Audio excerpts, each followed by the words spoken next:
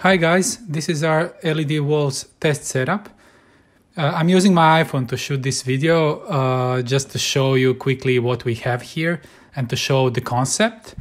Uh, you will notice that the, that screens flicker a lot on my iPhone, but uh, when I will be showing them on the monitor, on the output monitor, the flicker will not be visible as we increase the shutter opening of the camera. We have some very basic LED panels here, which are not even gen locked, but they are good enough for what we want to show here. On this screen, you can see how the orange cube on top extends from the LED panel to the set extension. The colors and delays were not adjusted in this initial setup, so there is a clear difference in colors of the LED walls graphics and on the set extensions.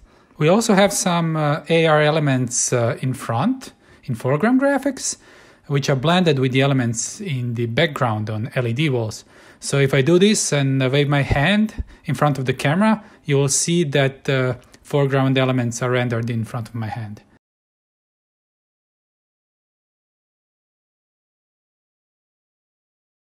So these are today's results. You can see the colors of the walls are now adjusted and you can see how soft edge works correctly.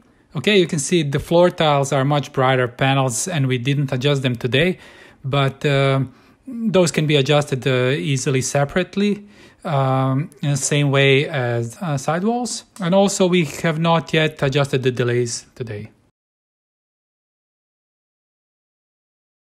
Okay, so here we are again with our uh, setup.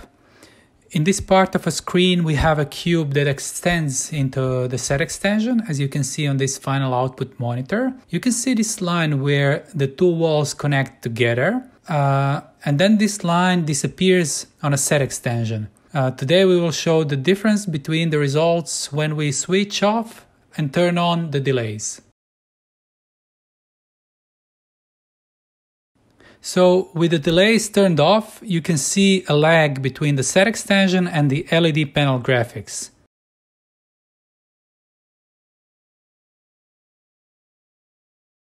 Okay, uh, let's try again with the delays adjusted and turned on.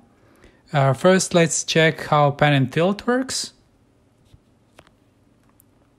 As you can see now, it's uh, working seamless. Now we will check the delay again as we push the camera forwards and backwards like this.